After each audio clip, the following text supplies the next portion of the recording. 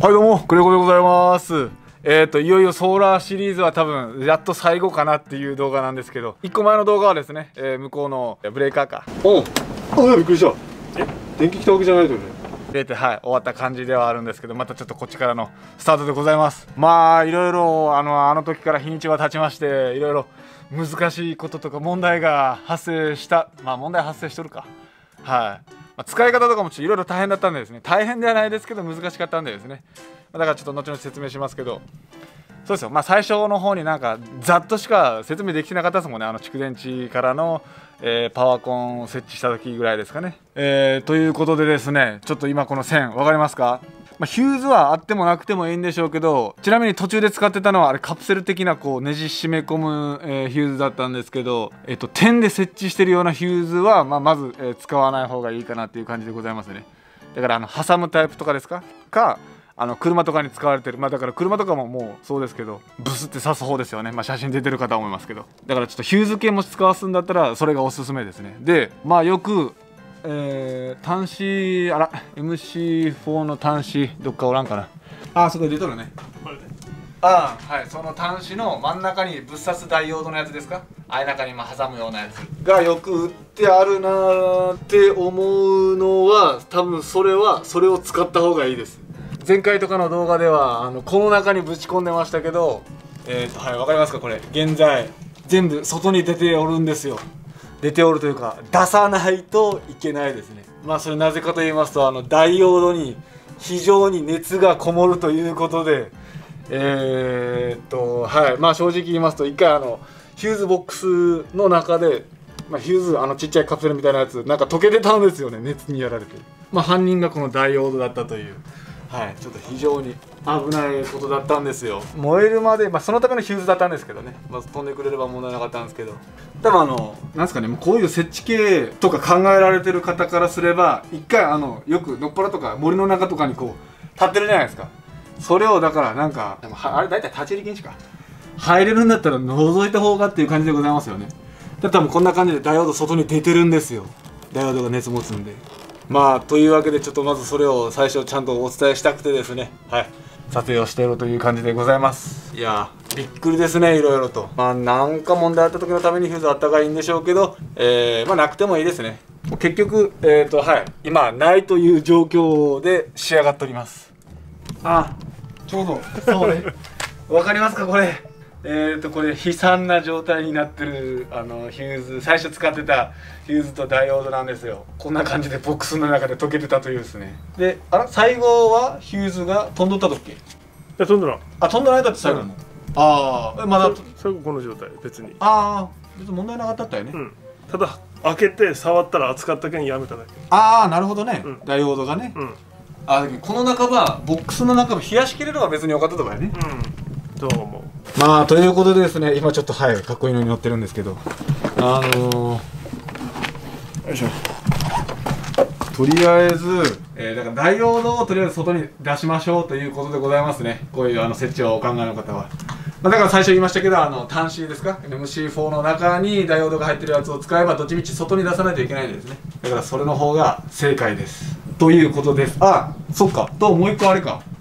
最終的にえっ、とこれも説明せんもだよね。えっ、と27枚28枚か。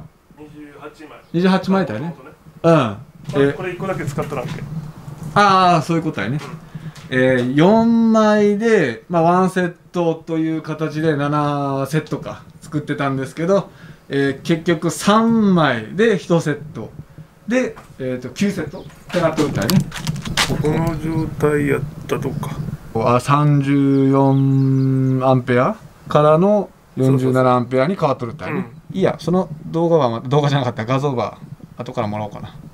これあれ共有してるやつ。ああそうか、うん。なるほどね。あじゃあもう見れるとか。うん。さばけてるんですよ。これ純正のアプリやったよね。人生のアプリ。ああはい。このアプリでございますよ。でこの色。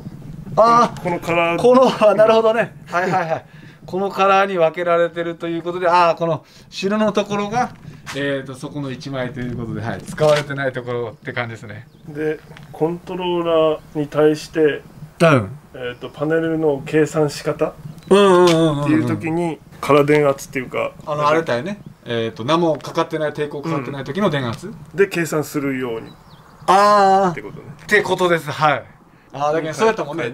これ、えー、とこれ25ボルトやったのかな？うん。1枚体やったらこれああそうだよね。25.7ボルト。つけたら抵抗かかったら20.3ボルト作りますよ。という数字ですけどこっちの計算ってことやな、そうそうそう。ああということでございでます。コントローラーとパネルの計算はもと。もとこっちで計算したけどね。ああ最初がね。うんうん。うん。抵抗かかるなら大丈夫とかなあれうんうんうんあ大体またソーラーってこう書いてあるんだよね抵抗のさこの数字みたいなやつはね、うん両方書いてある。あれで書いてあるんだよね、うん。ああ。ということでございます。抵抗がかかってない方の、えーまあ、今回使ってるパネルの場合ですけど 25.70V なんでこっちで、えー計算してコントローラーに合わせて枚数を作ったっていう感じでございますね。あで 77.1V になっとるんだよね。そう。3枚の 77.1V あまあ実際ここまでいけよらんけどね。ああこいつが弱っとるやろうけどもね、年数経ってるソーラーで、でも新品でもし考える場合やったらもう間違いなくこれってなるけどね、うん。ということでございます。だけどさほらオーバーどうのこうのとか言うただよはコントローラー自体がうん。抵抗かかっとる時にあのコントローラーは 85V までやんね。あああれがね。うん。うん。あかかってない時は100までよかっていうコントローラーやんねあれ。あーなるほどね。あ100まではよかったよね一応。そうやけんエラーの出たっていうだけで壊れはあさそっかそういうことか、うん。はいはいはいはいはい、まあ一応そこも計算した上でしとったとけどね。エあラーの出てダメっていうだけだあうん。あだけど本当に行き過ぎとったら下手したらブん。レーキ落としとるったよね。そうそうそう。そこは大丈夫やろうでそこは計算しとったけんなんとか。うーん。耐えれとった。ただエラーが出るっていう。ああなるほどね。アンペアが60アンペアまで耐えられるじゃんね。でまたこれ60アン40ま40計算でも47.7ああだよね今があだけどそっか。で9セットになったけん47.7アンペアに今、はい、なったという感じですな。ですでに計算するとワット数でやったらこれ100ワットのあ27枚券2700ワットやろ？うん。のはずやろ。そうね、うん。そのまま単純計算。ってなるけん、1700そっか。うん、計算上これ1400ワットやろ？ああそっか。倍になるなるたい。なっとるやんね、うん。今そういう2700計算ワットああそういうことか。残ったらあそういうことか。だけどそれでやったら。ボルトとアンペアをギリギリまで持っていけばワット数は高くなる。ああまあ耐えれるほんとギリギリで耐えれるってことだよね、だけんワット数だけば言えばそこになるんだよね。そうそうで機械で言えば別にそう、うん。あのまだ余裕ある基準ないたよね。もっと上げてもいいし。なるほどね。ほんとワット数的にはそうやもんね。う1400か。ん、もっと上げれるんだよね。60アンペアやけんマックス。ああそっか。うんあとえっ、とまあ約10アンペアって考えて。2列ぐらい増やす2列か。え11セットか、うん。ああ11セットっつったらえー、っと1万1000ワットぐらいまでいけるって。あれ？違うね。2700 2700ワットけん、えっと、あそうだろ600ワット増えるけん。えっと3000あじゃあじゃあ。あ3000 1万って怒って3300ワットだよあそうだということでございます。はい。計算が。だからでも家とかの場合はでも絶対あるよね。ちゃんと数字内で収めてあるじゃないと。ギリギリぐらいまで持っていってやるけどね。コントローラーに対して。コントローラーに対してはね。うん。だけんコントローラーがだいたい3000ワットの場合6000ワットはつけられるっていうタイプああ。うん。そういう言い方やったもんね、倍ぐらい約、ん。という感じでございます。っていう言葉は何回も言えるような気もするけど はいというわけでちょっとコントローラーの方に、はい、行きます。はいやってまいりました。えっ、ー、と相変わらずの、えー、パワーコンピューターハイブリッドくんでございます。えっ、ー、とはい無事無事じゃない何の問題もなく、えーブレーカーもついておりバッテリーもおりますよ。はい D タイムでございます。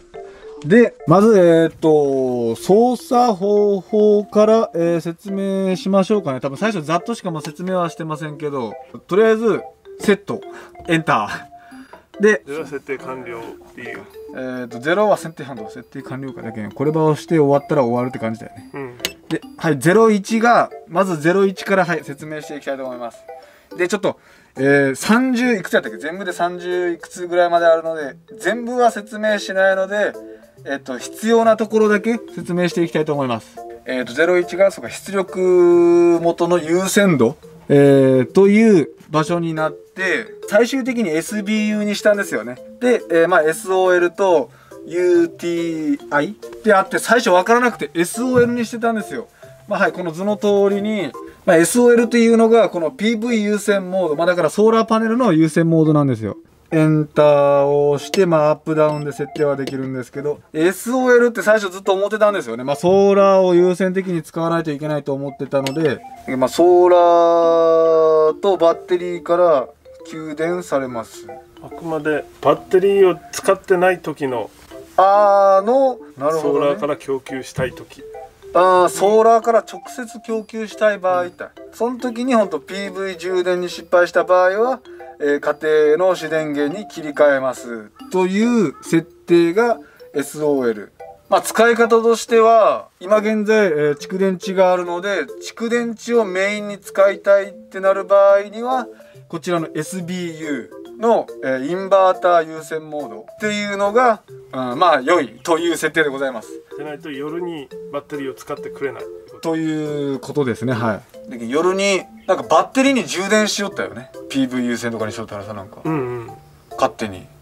えっとその頃はバッテリーのモードがああそっか。まだバッテリーあまあ。ソーラーにしてないだけああそうだそうか。違うところでのモード失敗もしとったったよね、うん。うん、まあ主電源優先モードは UTI の場合は、まあ、主電源が優先モードになりますよというモード設定でございます。まあ多分これはほとんど使わないんじゃないですか。有料モードやけどね。ああ電気買うモード。そうやね、うん、普通に電力から電気を買うモードが優先になっちゃうのでまあ別に多分パワコンとかつけられてる方はえそれやらないんですね。なるだけ蓄電池かソーラーから使いたいのでってなるので、で、蓄電池を使う場合はこの SBU でございます。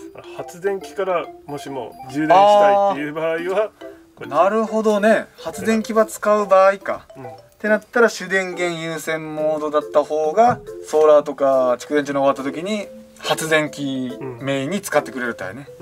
うん、それもあるとか。なるほど。はい。というわけで、01がそういうモードでございますよ。はい。次はまあ02ちょっと簡単に説明します。これは60、50の出動波数ですね。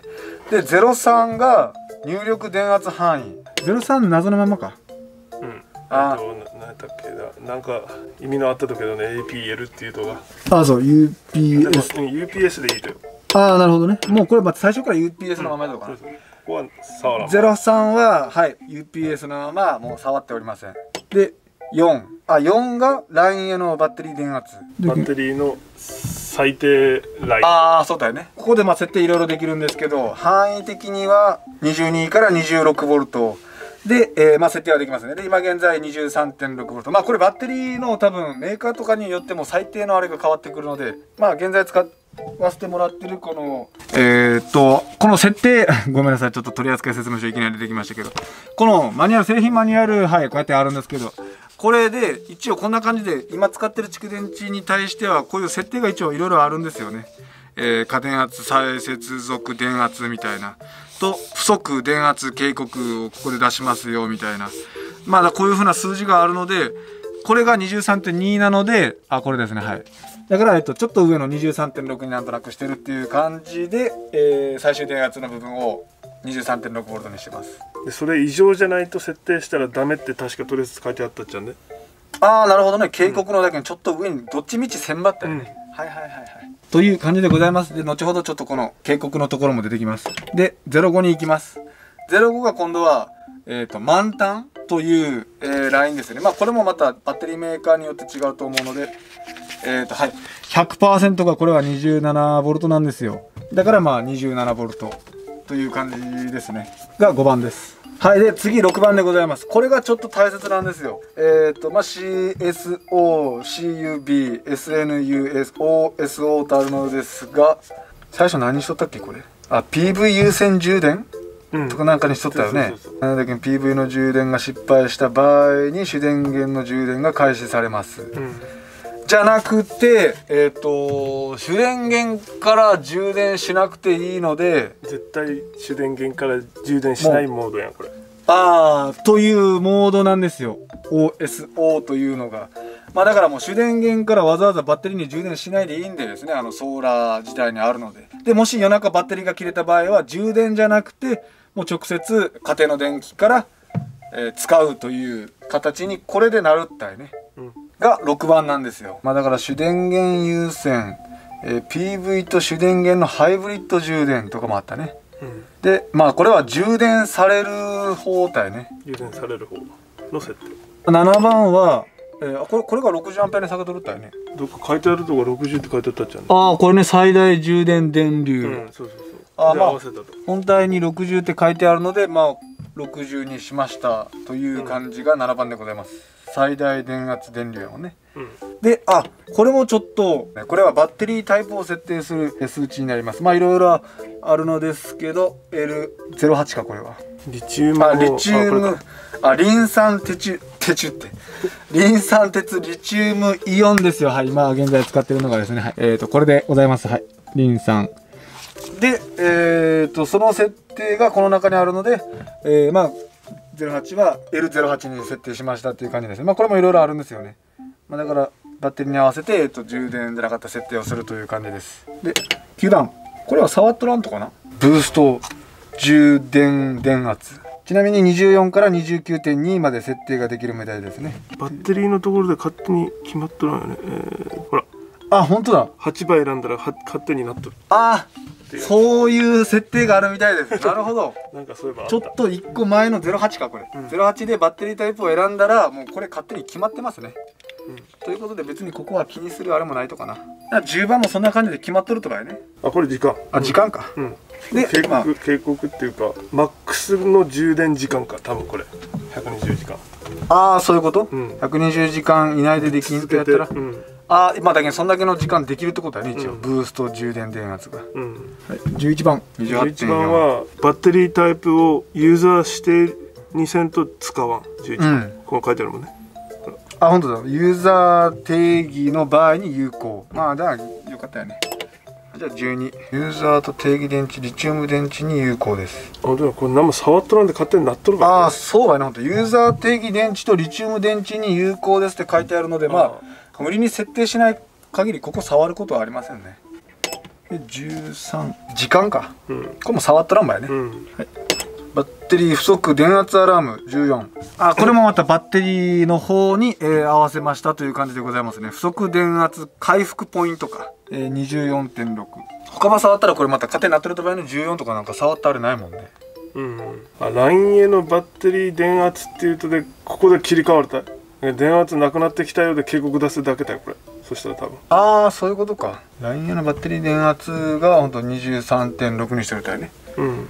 の前にここで警告が出ますよという設定ですかね。これだけ勝手になっとかなもしかして、まあ、とりあえず電圧アラームの設定がえー、と20から26でえーユーザー定義電池とリチウム電池に有効ですという、えーポイントですね、まあ、これもだからこれもあれかこのバッテリーのこれで勝手になっとったリチウム電池っていうとはああじゃあこれやね。ああリチウムだけの場合ね。うん。あだからこの辺もあのこのバッテリータイプをちゃんと選んだ選ばないとはいけないんですけどそれによって勝手に設定されるポイントだと思います。ポイントです。はい。で15が、えーとバッテリー放電限界電圧。あこれはバッテリー設定しただけでもここ変わるんでしょうけどあこっちのあのセット取扱説明書にあバッテリーのですね。警告の段階は限界にか変えとるね。なるほどね。あんまり不足電圧警告のところを合わせてますって感じでございます。はい。これ23.2なんですよね。これが15番でございます。はい。で16ここない。ここもう出てこん。バッテリーのユーザーにせんと。ああなるほどねあ15からいきなりあもういきなり飛んでる。22まで飛んどるとか、うん。省電力モードとかも設定したっけ？しとらん何も触ってないもんね、で23これも触ってないね。もう本当はずっと触ってませんね。触らなくて多分問題ないと思います。で最終的に触ってるのが35から。35から。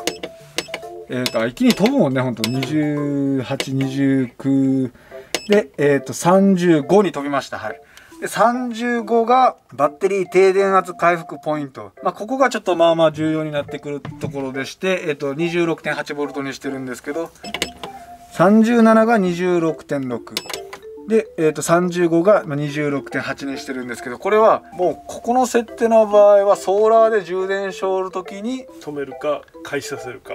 のポイントだよね、だから、えっと、ソーラーで充電する時にこれをどっちも結構ギリギリ上に上げとかんともうお昼はずっと100%近くであの充電しては止まりしては止まりの繰り返しにします。的な感じなんですよね。マックスが27ボルトになるので。だからこれをバッテリー停電圧回復ポイントをあまりにも低くしてたら夜になった時に。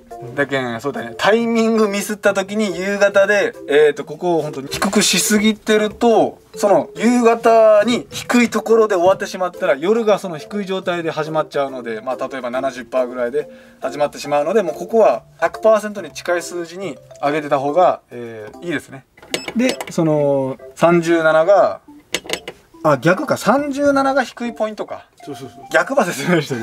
まあいいや逆なんですよ。はい。ちょっとさっき今説明しましたけど。だからこっちを低くしすぎるとさっき言ったように夕方で70%で終わっちゃうということがあるのでこっちがギリギリまで上げてるっていうことですね。だから35はだから一応あれか。これ27にそういえばしてよかったんやで100%でもよかったらやるけどここの限界っていうのが100%にしとるけん。ああそっか。そっちがちょっとずつ下げてったら勝手にこうなったっていうだけ。ああなるほどね。インバーター A の電圧範囲が27にしとるってあれね。うん。ちょっとなんか説明が入れ子になったので、えっ、と、分かりづらいかもしれないですけど、35が充電が終わるところ。37が充電をし始めるポイント。で簡単にえー説明するとそんな感じでございます。100%をまあ維持する的な感じですよねお昼に。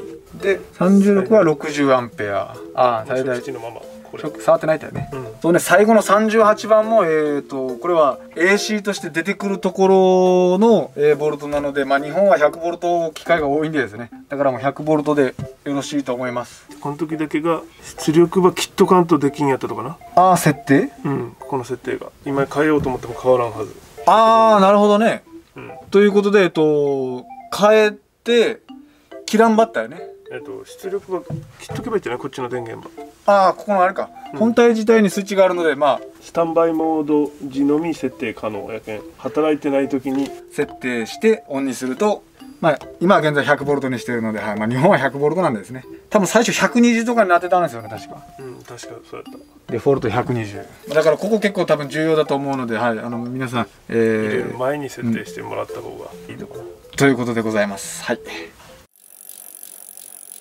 はいそんな感じでですね。説明ちゃんとできたかどうかわからないですけど一応バッテリーの設定電圧的にもまあなんかマックスその 30V とかこれ書いてはあるんですけどだからその100%のあいなか説明最後したかと思いますけどその100%を保つために26.6から26.8やったかな。に設定してますけどそこは 27V 以下の設定数値まあこのバッテリーなんですけどねの場合はしておかないしておかないとというかまあしてた方が、えーバッテリーに負担はかからないのかなっていう感じですね一応はいバッテリー屋さんに聞いたんですけどまあそんな感じで20まあマックス27.5でも良き感じではありますがまあ 27V ぐらいでっていう話でした。はい。まあ、こっちもですね、ちょっともう訳がわからなくて、はい、あの、直接ここにあのお問い合わせをしてからですね、あの、聞いたという感じだったんですけど。あ、だけ、あら、そっか、この装置的には、何やだっけ？ソーラーはメインに使うとじゃなくて、えっ、といや設定はできると。あ、設定は一応できるとか。で今が蓄電池をあれ主に使う設定にしたっていうだああ、そういうことか。けでその SOL ってしたらソーラー重心に使うもうバッテリーは使わないモードっていう。っあていうだけ。あ、SOL が、こっちはメインに使えませんよっていうタイプってわけだよね。うん、停電した時はバッテリーになりますよああ、メインはソーラーだけですよ、みたいな。うんああ、という感じでなんかちょっと設定がいろいろい意外とあったんでですね。はい、今現在、こんな感じで、はい、ずっと見えてるんですよ。まあ、最初も、あいなかも説明しましたけど。で、だからソーラー充電できてるときは、まあ、ここでこう、どんだけ今数値ありますよって見れるんですよね。これか、まあ、この辺で、まあ、PV パワー、なんかなんとなくこう、はい、皆さんも読めるんじゃないですか。まあ、チャージパワーとか、まあ、PV チャージパワーみたいな。ここで一回こう、設定をして、こいつを押したら、こう、今日の、はい、これだけチャージしましたよ。だから、あの、26.6と26.8を行き来してるので、すぐ満タンになるので、これちょっと見えてますかね。ちょっと上がっては満タンになり、ちょっと上がっては満タンになり、で、夕方、あー、満タン26.8ぐらい、あまあ、とりあえず100%で、はい、終わったようで、今電池だけで動いてますっていう感じに、はい、なってるんですよね。しかも面白いことにこれ、何日も見ることができるんでですね。昨日はこんな感じだったとか、はい、まああれなんかちょっと変な時はなんかこうギューンって充電してあれ終わったみたいな。ああ そうよね。分からなくてちょっともうこれが思ったようにならなくていろいろ頭悩ませながらちょっとちゃんと説明できたかもわからないですけどはい。こんな感じで仕上がりました。だけど今現在やったら大体夜になったら100%から始まるよねちゃんと。うん。大体ね。ただこのパーセントもちょっと当てならんよね。26点いくらあるとに70%しかないなみたいな。てか60%とかが大体。うん。この、はい、バッテリーのパーセンテージがこうやって確認できるんですけどちょっとなんか当てならないですね。今度な夜なくなってしまった場合は最終的にどうなったっけ？まあここから買うってやつ使いよるたよね。一時電源から普通に。そうだねこいつに充電はしょらないたもんね全然ね。なくなったまんまやし。まあだからえっと OSO やったかなの設定がはい大切ということなんですよ。はい。あーというわけで一応はいソーラーはこれで最終だと思いますまあこいつが最大電力1400ワットか。ですけどまあ一応ほんと3000ワットってここにも書いてあるしね。テク出力あ出力かこれ。これ30アンペアか。30アンペア。100ボルトの。100ボルトの30アンペアっていうあれだよね。本体自体のうん。出力能力は。で、まあ、最大充電電流も60アンペアまでと、うん。まあアンペアをマックスにすれば、まあ、ワット数は勝手に、えー1400の倍ぐらいにはできますよと。1400で固定になるっていう。マックスは決められるけどね。ああそっか。いきなりボンって朝のうちに1400に上がるだけ。ああなるほど。でかくしたら。1400でそっか。1400にしてしまったら昼間の一番日の照ってる時じゃないと1400にならんけんそしたらもう全然ダメだよ。っていうとまああっちがでかくしとるっていう。はい。まあとりあえずえっと簡単に使える設定はこれで分かってください。あと 勝手に見てなんかいろいろこう設定なんかはい、そういうことでございます。なんか、まあでも本当いろいろ楽しめる感じではありますね。ちょっと電圧計間違えて、あの ぶっ壊してしまうようなことがあったら超大事なので、ちょっと一応あれか、電気工事士が、はい、必要でございます。できましたよ、とりあえず。やっと。やっと。はい。まあ少しでもこう、ためになればな、という感じで、はい。えーご興味がある方はぜひ、ちょっと試してみてください。蓄電池高いですけどね、なかなか。でもこれで、一応、えっ、と、うちのこの倉庫は、もう電気代0円じゃない？夜、無駄に使って終わらせんなら。うん今のところはねうん、まあ、蓄電池のサイズ次第かとはうん倉庫がはい0円のなるんですよ。ここ冷蔵庫ずっと回ってるんですけど。何でもはい使おうと思えば0円にできます。蓄電池いっぱいつなげればですね。はいてな感じで最後までご視聴。ありがとうございました。えっ、ー、とグッドボタンよろしくお願いします。それではありがとうございました。では。あーいろいろ勉強になった。マジで。うん。またつけてもらう他にねうん